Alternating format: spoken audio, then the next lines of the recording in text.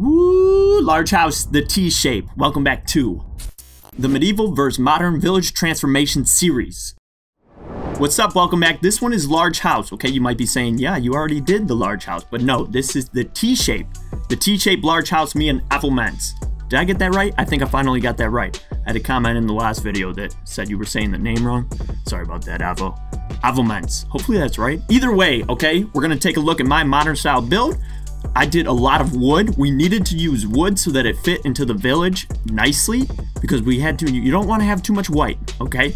So we had to make it all wood. I love how it turned out. You might be thinking it's kind of weird or you might like it. I don't know either way. We're going to check it out and then we're going to go check in on Avo, Avo's Avo's medieval style. Okay, rambling already. Let's get to it. So here we go, the T-shape house. Okay, you can see straight away the way I placed it.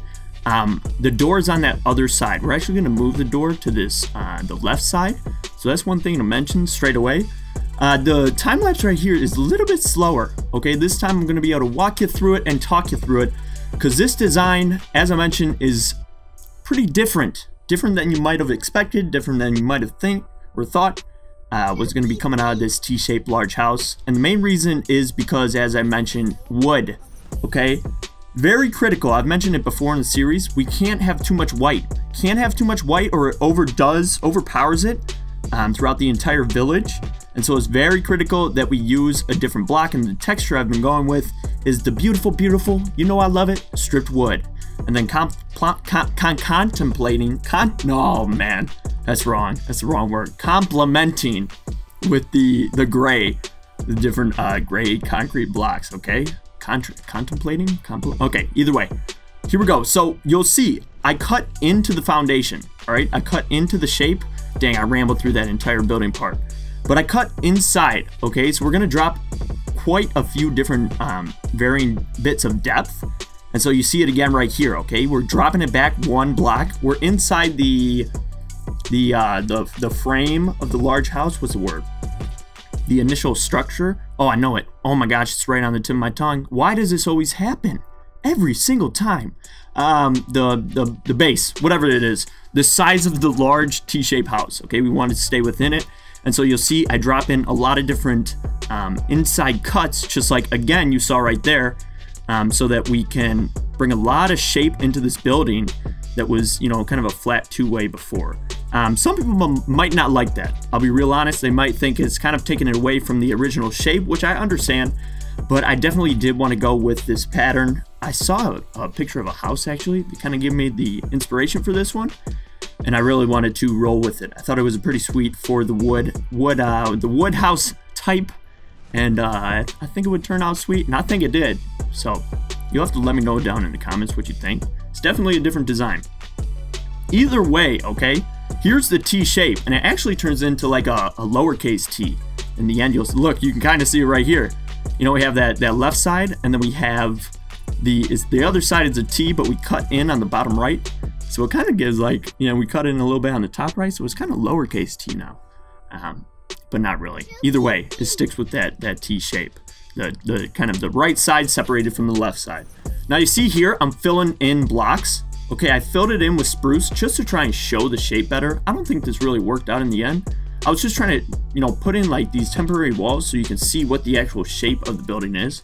Because there's a lot of pillars. Because with a modern build, there's a lot of glass. So it's kind of hard to see the, the, the, shape and design right away. So that's why I put in this spruce wood. So that we could go, and, you know, then cut out from it and kind of show it better.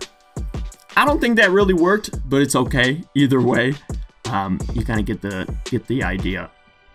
Now this is real key. Okay, we're shaping up the the top, the modern wooden part. Okay, um, you know what? I'm gonna grab a drink of water live while talking. You didn't hear it, but you heard the background music. That's why I knew I could do it. Okay, but uh, look, look at the the the smooth edge of the the stripped wood. This is very critical. Okay, we don't want the the end caps, the normal end caps of wood, we want to have it smoothed out and have it all facing so that it looks like a, um, a horizontal line on top. You can kind of, hopefully you get what I mean. Each one of those uh, wood pillars on the top are extending in a horizontal line on top of the pillars holding them up. That's the idea. You saw that front, I added in shape with the different uh, concrete, the powder concrete and the, the full concrete. You can see it again right there. And then we're using black stained glass and white stained glass to bring even more, um, you know, uh, not texture, but um, I don't know, uniqueness to the the actual design of the modern house itself.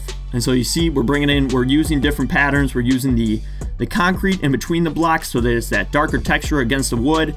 And we're using the glass all throughout to give it that modern touch that we're obviously going for in the modern style. Um, you'll see this, this bottom right part is actually going to be another entranceway. Uh, if, it, if it was like a real house, you could kind of consider it a garage. Um, but obviously in this scale and for the, the large house kind of shape, I just made it an entranceway. You'll see me do it right there. You also saw the, the front door is up in the, or not up, well you can't see it now, but it was in that left side and you have the stone slabs ascending up to it just as it should. You can see it now there on the left. But there's the other side door and then we're also putting the pass and then make sure you get the blocks underneath. Get the blocks underneath always, okay? You don't want the grass path. You don't want to see the dirt underneath the blocks of like the stripped wood and the clay, okay? You might get what I'm saying there. Hopefully you do. Right here, okay, we're going with uh, slabs. Slabs of oak wood. And you can kind of see, I'm not going to be able to show the interior design. I actually love the interior design. I'm not going to be able to show the building process that well. So I'm going to add in screenshots. Uh, I think I'm going to do it, yeah, I'm going to do it within the video in a little bit here. But what you're seeing right now is the roof pattern. Always critical too. You know I love doing a creative looking roof pattern. And we brought in iron trapdoors on top that we've been using throughout the, the kind of theme of this village that are skylights. There's no blocks underneath them, so it lets in some natural light. Uh, we put a little concrete powder and on the left side just to bring in some more shape there. You can see it right now. Uh, and so that's the uh, brings in some more shape into this modern build. Some bushes out front. And then you can kind of see, look at the uh, the powder texture, powder concrete. And this is a good angle right here. Just showing off the house, showing uh, showing what it looks like in the, uh, the kind of end product. Right now inside, I'm doing the actual interior, and that's why it's it's sped up a little bit. And I think I have screenshots on the uh, video showing right now so that you can kind of see that interior. I actually love how the interior looks. You can also, I would say you can also check it out on Avo's, Avo's, Avo's video. I like Avo, but either way, Avo's video, which you should definitely watch, is linked down below.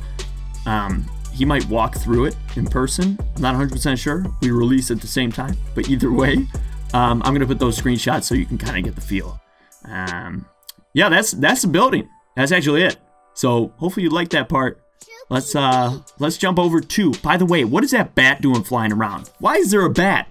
I saw that all throughout. Maybe you did too. Either way, let's go to the medieval. Okay, here we go. Medieval style from Avomance. Let's take a look. Let's see if I can get a good turn. Pretty solid, and ooh, there we go. The T-shape house. You can see he really locks it down, similar to the original village style as you may have expected, and maybe I should have done either way but he did it very well. I love it. Look at this. Look at this up top. This is just one of those, dang, this is just a standard, beautiful looking house. I mean, this is one that, this is a real good transformation. This is an especially good transformation of the house because it definitely keeps that village village style you're familiar with and it just turns it into a real good looking house. Dang, I like it. I really like it. This one makes a lot more sense to, to, to me than my modern one necessarily does. Okay, I still like my modern one. Avo, he's really trying to shake me up here. but this one, this is sweet. This is a real good house. Okay, let's go over some details rather than just talking from the front. Uh, walking up, he's got the, the porch. I love the porch, kind of adding in that porch design by extending into the building a little bit. It's got the nice, oh man, Dang, Trado told me in the last episode what the word was for these, but I can't remember. Uh, but either way, going across the windows right there. Love the upper windows against the, the roof pattern. You can see his roof patterns all formed together to keep that theme together with the cobblestone.